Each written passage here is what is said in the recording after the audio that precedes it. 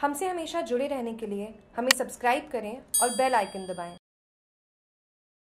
श्री सिद्ध जोड़ भैरव मंदिर प्राण प्रतिष्ठा महोत्सव के तहत निकाली कलश यात्रा।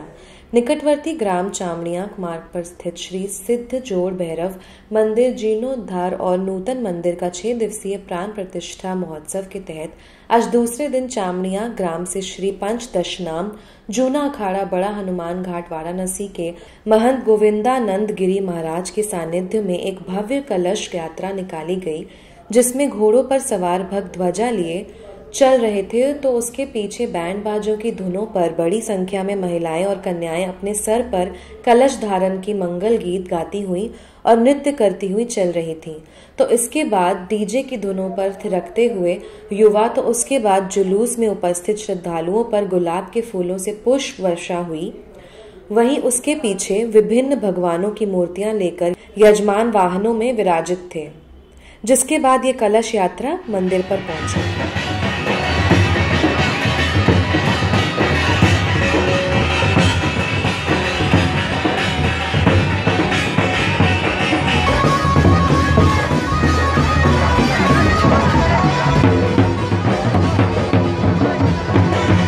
सोजत सिटी से जागरूक टीवी की रिपोर्ट।